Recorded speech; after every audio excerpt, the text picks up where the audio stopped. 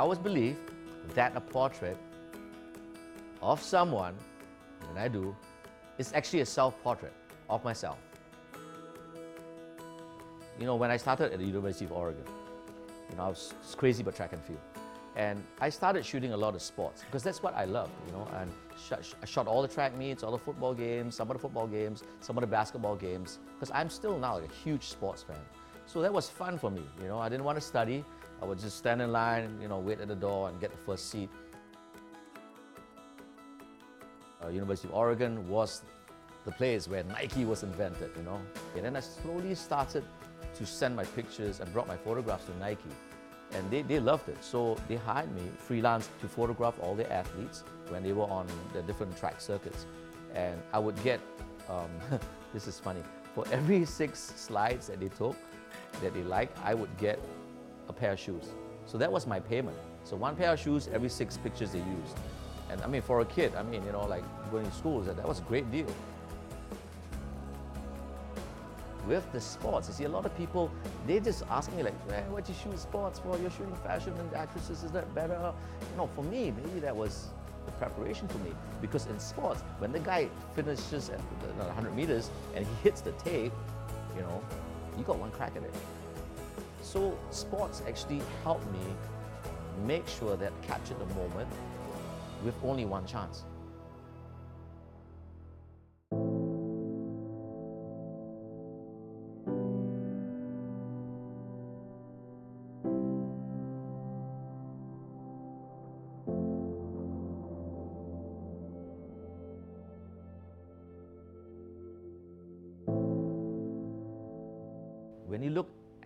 Photograph I've done, all my values are placed upon that photo.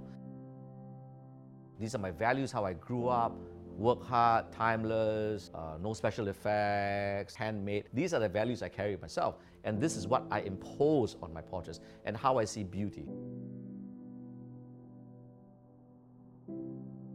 Before I do a photograph, I do the research.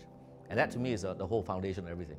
You know, before I shoot you, I want to know about you how can I depict you or represent you on paper visually if I have I've got no information about you? When I'm there, I'm not shooting the physicality of the person. Like, oh, cute girl, pretty, makeup, hair, nice dress. I want more than that.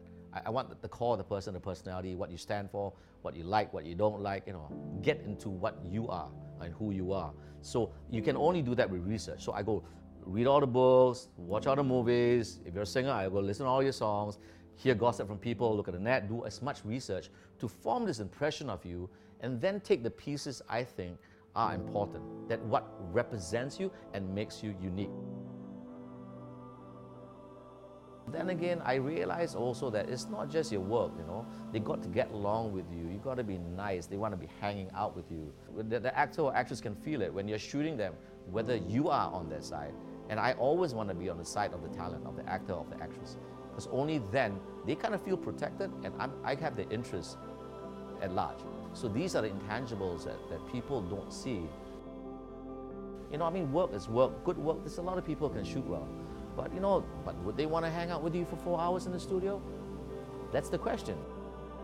My parents and my dad always told me that the stuff that's timeless that will last forever and you want anything you do to be that way. So that always stuck in my head.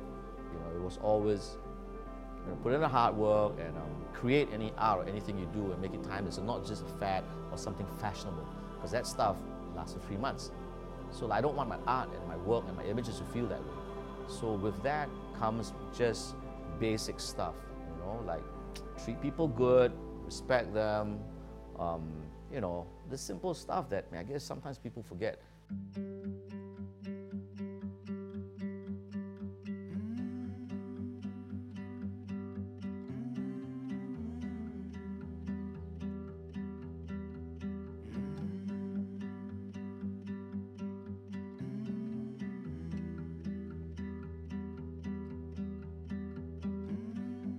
I mean, the, one of the, uh, the, the big ones, and, and of course, that sticks in my mind is uh, the time cover I did with Jackie Chan. So I had the idea to go shoot it on Jackie sitting in the middle of the street with cars coming by in Kowloon. So that was my shot. You know, for what I do, it's collaboration. If he doesn't perform, he doesn't want to help me to make this image work, I can't I can't produce it. So it's not just all about me and my concept. You know, it, it really helps a lot. It really makes the shoot great that both of you are working towards the image. And for me, it's always been about that. It's never been about me, me, me, me, me, or even celebrity. It's like, what's, what does the image dictate you to do?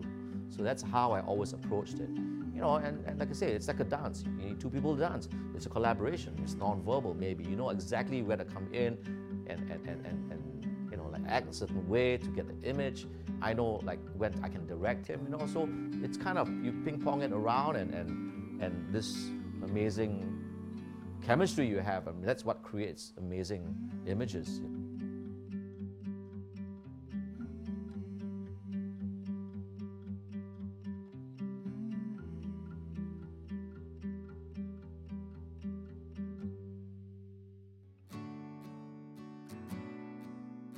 I see beauty in a very conventional way, not in a quirky way. And, and I, I, I, I respect women, I love women, just an object. So when I shoot it, it comes across that way. But this, this is like my values and, and my value system and how I was, I was brought up.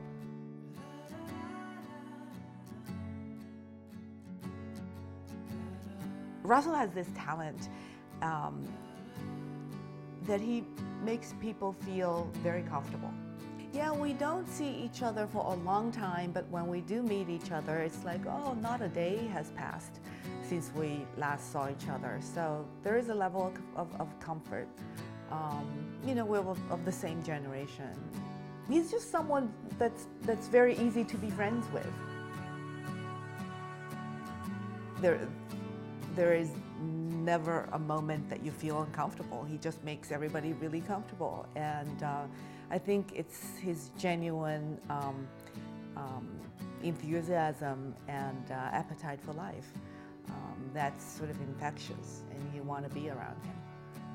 To me, I really enjoy the interaction and the process, you know. So that part of me is more important. Like I tell a lot of my friends, I mean, in the film business, I look, you know, we just hang out, we don't shoot, I'm happy.